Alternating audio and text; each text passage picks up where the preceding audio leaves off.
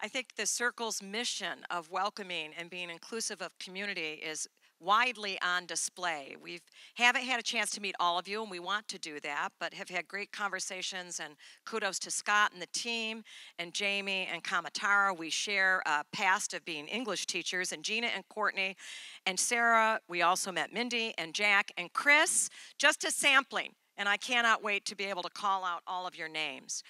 Um, when Scott and I got to know one another, it was clear in New Orleans and moving forward that we at AARP Foundation uh, share mission with you. And that in fact, Circles USA and AARP Foundation are actually kindred spirits. And I know that because when you listen and hear about the words that we each use to talk about our work, uh, there are many similarities community, connection, grassroots action volunteer support and meaning, financial stability, and transformation. We share, I think, the same fundamental motivation to improve the world by intentionally and systematically building more livable communities. And livable, healthy communities are communities that are inclusive of all people across all identity lenses and across the economic spectrum. We both seek to help by offering a hand up, and we both recognize that we all do better in this nation when everyone in our community does better. We both realize that volunteers are a rich and, in many cases, untapped national resource. For example, at AARP Foundation, two of our largest and most effective programs, AARP Foundation Tax-Aide and AARP Foundation Experience Corps, are fueled by the dedication of thousands upon thousands of volunteers and communities across our country. Who, by giving of their time and of their rich life experiences, further strengthen, strengthen their own connection to communities, regain a sense of purpose for themselves, and have demonstrable, evidence based improvements in their own quality of life. You are committed to building thriving networks, and we are too. Many of AARP Foundation's workforce initiatives offer networking solutions for unemployed or underemployed adults who are 50 and older. Opportunities for them to make the kinds of connections that will enable them to compete, compete much more effectively for today's in demand jobs. And in virtually every program and service that we offer or that we support or advance, we network and build strategic collaborations with other organizations across multiple sectors to have a greater collective impact on behalf of older adults who aspire to financial stability. So, although we may not call it the exact same thing, we're both about building circles, about empowering communities, about bringing everyone into supportive and meaningful lifespan connections. At the foundation, we've identified two pillars that guide everything that we do helping older adults increase economic opportunity and helping them build and maintain social connections. These two goals, as you hear them, you can hear that they're intimately linked. We find many times that by bolstering one pillar, we're actually having a positive impact on the other pillar as well. In our work to overcome poverty, we treat the people we work with not as problems that need solving, but as vital assets to their communities and to their families. Our programs focus on the social determinants of health, the conditions in which people, as you know, live, work, and grow that either encourage well being or are detrimental to it. But we always at the foundation remember that poverty is the ultimate social determinant of health and well being, and that addressing poverty is, in fact, the critical key. That's why, and we shared my, my team and I with Scott and Sarah last night, we admire your model so much and all that you're working together to achieve. Your emphasis on the critical importance of one to one human connection, the way you champion the notion that everyone has something to learn and everyone has something to offer. To be teacher is to be learner, to be learner is to be teacher. Yours is a fight for equity in your communities, and so is ours. We both strive to end poverty and fight all the forms of discrimination that provide a breeding ground for poverty, working to increase inclusion and financial health in communities where we serve. It's no secret that centuries of discrimination and denial of opportunity on the grounds of race and other identities have created glaring disparities that continue to plague us. We at AARP Foundation fight these disparities by virtue of who we serve and where we serve, both in communities and also in the courts across the nation. We also face the stubborn persistence of age discrimination in the work that we do at AARP Foundation. It makes it very much harder for older adults to thrive. Qualified, experienced, and dedicated as they are, it makes it hard for people to be hired or to continue to keep working. You know, think about it. If you have lost a job, you're fired or you're removed from a full time job at age 50, and given longevity increases, you might live until you're 90 or 90 plus. That's a recipe for long term deprivation. Age discrimination is highly consequential. It's a problem that our legal advocacy team at AARP Foundation battles every day. This is a matter of fundamental fairness. It's a high stakes issue when it comes to economic security for the growing population of older adults in our nation. And not addressing it is another recipe for increasing poverty in communities. I know and am thrilled to continue to hear from Scott and the team that a quarter of those you serve are already adults 50 or older. The need in this segment of the population is great and growing, but it is a need that society really very often overlooks. You emphasize, and Scott just walked us through again, the very real issue, problem, or challenge of the cliff effect. And this echoes in our work as well. We often highlight the fact that 37 million adults age 50 and older in our nation are just one unexpected life event from slipping into financial hardship because, as we know, life doesn't always go as planned. Whether that means falling below the poverty line or continuing to teeter on the brink of it. And as you so often point out, that one life event can actually be a pay increase that moves someone out of the eligibility for critically important safety net programs, ironically, bringing individuals and their families closer to hardship. But I see in my work, and I'm sure you do as well in your circles, such cliffs in the issues that older adults face. Job loss is a cliff. Higher health care costs as you age is a cliff. Losing a spouse or becoming separated from friends and family is another cliff. When it comes down to it, the fact that life doesn't go as planned is a cliff that we all need to keep in mind. That's why we all in our lives need circles of support. In the work we do at AARP Foundation, we confront some misconceptions about the challenges older adults face. Many in the public still believe that older adults are able to meet all of their essentials with their own resources, bolstered by support from Social Security and from Medicare. For millions of seniors, this just isn't true. Many older adults find themselves worrying about things, such as whether they're able to keep the lights on, as well as pay for their prescriptions or put food on the table. And they're facing impossible choices, as you know. Here's another important or key fact. In the United States, 13.2 million older adults are working each and every day full time and still struggling to meet their basic essentials, officially classified as low income. Imagine having to give up on the American dream at a time in your life when you had hoped to be reaping the benefits of your life well lived. Instead, imagine your later years having turned out to be a time of deprivation, of dreaming only of making it to tomorrow, to the next day, and a time of growing fear. Your collective mission shows that you understand intimately how poverty feeds on itself, that problems like inadequate housing and food insecurity combine to make the bad even worse. And many older adults face additional challenges, mobility challenges, for example, or cognitive decline and chronic health problems or comorbidity.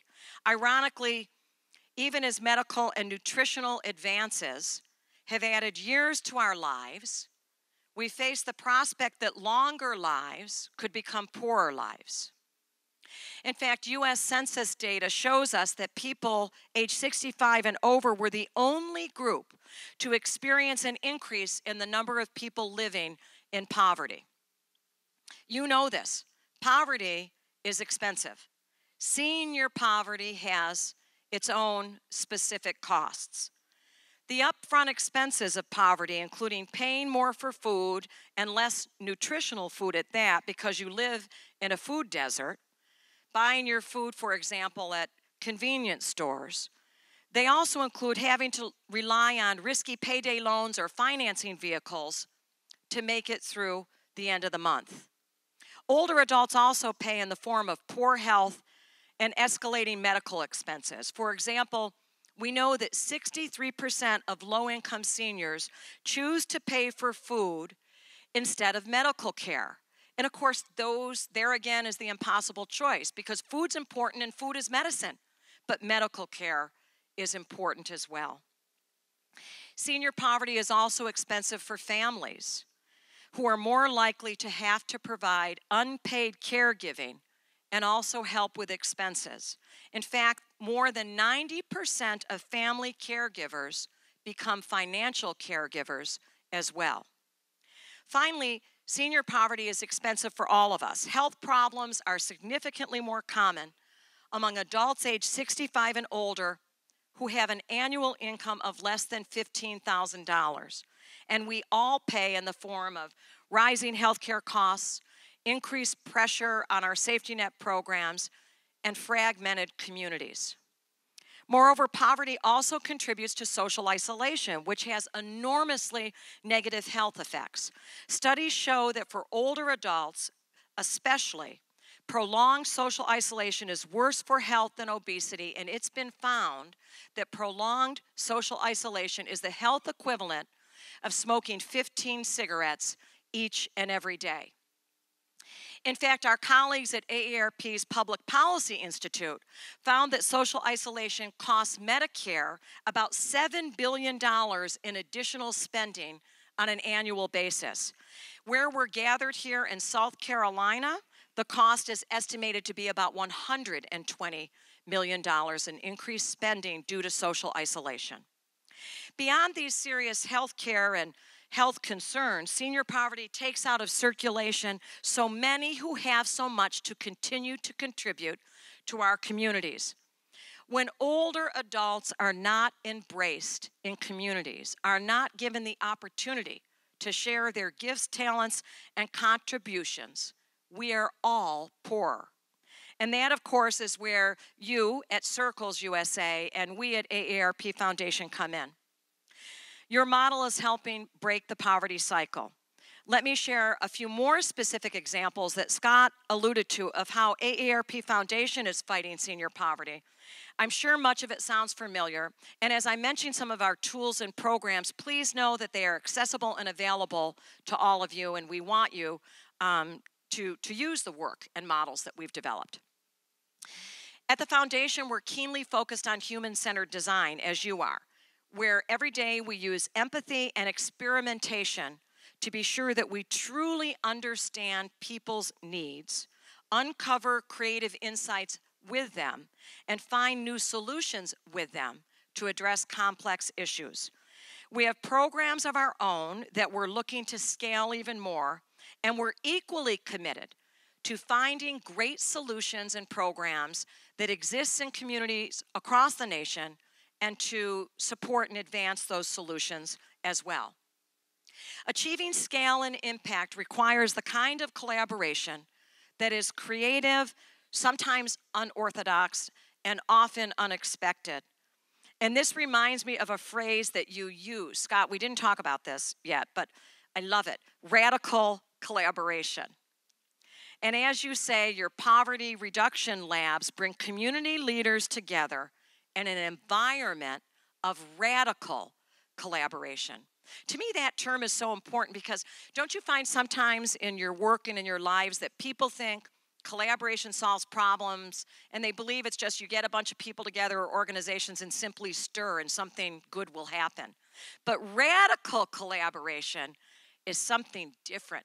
The very phrase says there's accountability, there's newness, there's pushing of boundaries together and as organizations. I really admire that boldness, that determination to stop managing poverty and instead work to reduce it outright, commit to your 10% goal to solve it. Radical collaboration can scale effective solutions by finding answers to these stubbornly persistent and challenging and complex social questions and problems. How do you retain direct service but scale to more participants and users? How do you spread the message that working on senior poverty is a worthwhile endeavor for startup organizations and tech companies? How do you develop a blueprint for multi generational services? We are all working with limited resources. So, radical collaboration enables us to invest those resources where they will have the greatest, most sustainable impact. One solution that has had a really measurable impact for more than 50 years is our job placement senior community service employment program, or as we call it, SCSEP. This program puts unemployed older adults back to work through temporary subsidized community service jobs that typically lead to full time unsubsidized work and employment. Last year alone, some 3,600 older adults found jobs through our SCSEP work, and communities benefit as well. AARP Foundation SCSEP participants contribute over 5.5 million hours of community service, valued at over $120 million a year, to food banks, human service agencies, Sarah, to your agency, to senior centers, to daycare centers, schools, and a wide range of municipal and community service and nonprofits. All told, in 2018, our workforce programs generated more than $123 million in new income for our program participants. And this includes SCSEP and our Back to Work 50 Plus program, which helps long term unemployed older adults get back into the workforce through workshops and coaching and peer support. Sounds familiar given the work that you're doing. In addition to training, we help connect participants with employers who are looking for the kind of dedication and experience older workers bring. Moreover, as we all, moreover, as we all know, entrepreneurship is a dynamic and growing sector in all of our communities. So we are opening up pathways to entrepreneurship for low income older adults through a new program we designed and launched called Work for Yourself at 50 Plus. Human centered design is a thread that runs through everything that we do and all of our programs at AARP Foundation. And that also includes thinking through the power of technology to help older adults who are living in or on the edge of poverty develop the tools and habits that ensure they continue to retain their own agency. So, let me briefly touch on some of the newer tools that we've developed and launched that might prove useful to all of you in your work in circles. At AARP Foundation, we believe that social connections are the new frontier in aging. And to help cross that frontier, a couple of years ago, we spearheaded a program, an online tool called Connect to Effect. You can find it at connect2affect.org. This resource source helps older adults, but also organizations or communities begin to thrive, to build the connections we all need to thrive. And it launched in 2017, and almost 100,000 people have completed a very short online isolation assessment tool that is the centerpiece of our work on Connect2Affect. And you can either complete this for yourself or on behalf of a loved one. I have to tell you, now that I know so much about the ill effects of isolation, I very regularly check myself on that assessment tool to be sure that I'm doing the work needed to maintain healthy connections, to maintain my health as well. And then once you know where you are, you can plug in your zip code and be connected to community resources in your own community. So I don't know, Emily, Hillary, Scott, and others, I was thinking community resources are circles too. So we need to think about ways that we're connecting your work on our, and Jamie, on our Connect2Affect uh, website.